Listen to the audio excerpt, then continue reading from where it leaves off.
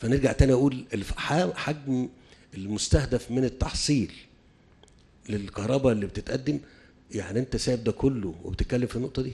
أيوه. أنا أحب إن كل واحد ياخد إيه يا دكتور مصطفى؟ ياخد حقه. أنا وفرت لك خدمة. والنهاردة الدكتور شاكر هو بيتكلم على كفاءة الخدمة أو جودة الخدمة في الدولة المصرية بما فيها الصعيد. بيتكلف حوالي بيتكلم في حوالي 150 مليار جنيه عدا حاجة كريمة. لمين؟ للصعيد. انت بتتكلم في قد إيه؟ في أربع خمس سنين؟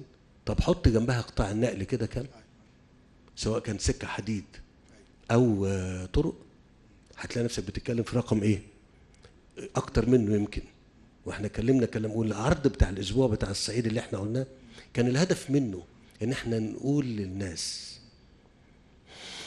الاهتمام مش كلام. ويمكن حد من كام يوم بيقول لي إيه؟ يا فندم عايزين ندي مش عارف رقم كام. رقم إيه؟ ده اللي بيتحط. أديك الرقم الصغير ده وأسيبك كده. يعني أديك قرشين صغيرين كده 100 جنيه و150 جنيه. وأسيبك كده. لا كهرباء ولا مية ولا صرف صحي ولا طرق ولا و... إيه ده؟ أنت إحنا هنضحك اضحك عليكم؟